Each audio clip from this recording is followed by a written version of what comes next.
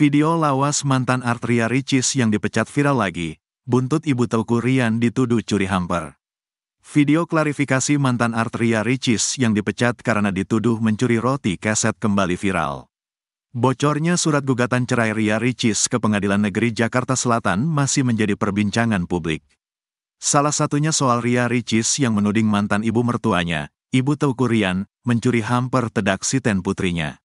Buntut insiden hamper tersebut, Ria Ricis kini kembali dikuliti oleh warganet soal masa lalunya.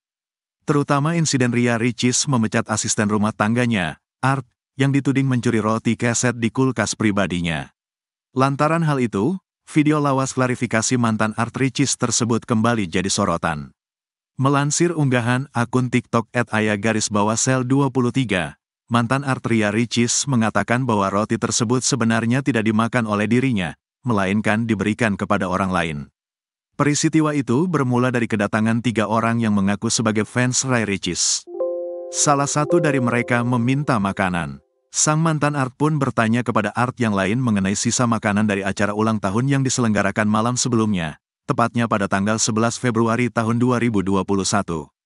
Singkat cerita, ia meminta tolong Art yang lain untuk memberikan roti tersebut ke penggemar Ria Ricis yang menunggu di dekat kolam renang.